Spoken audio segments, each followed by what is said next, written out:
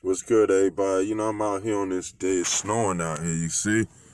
You know, it's crazy, but, you know, say RP Juice WRLD, man. It's real sad what happened to him, you know.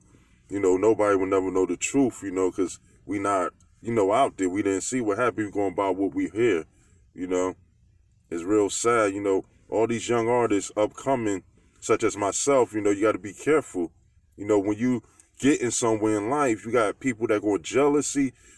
You know, it's a motherfucker. You got people going hate. You know, they want to be in your shoes. You never know. You get real love. Real love come from the heart. And it's like the fans, you know, that's love. And the people around you, as family, is love too. But you can't put anybody in your life. You know, when you out here, you want to, you don't know what these artists go through just to have this money.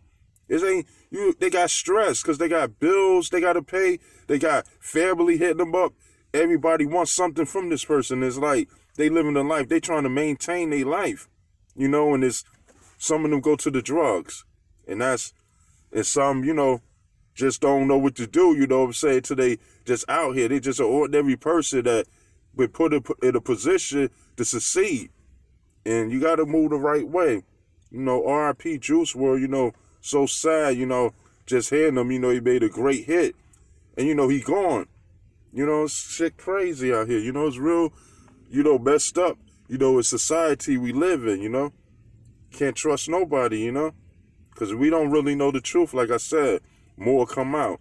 They found guns, you know, drugs, you know, or or this play, you know, like, come on, man.